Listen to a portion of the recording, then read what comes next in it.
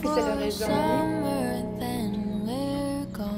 Un jour, j'ai eu la chance de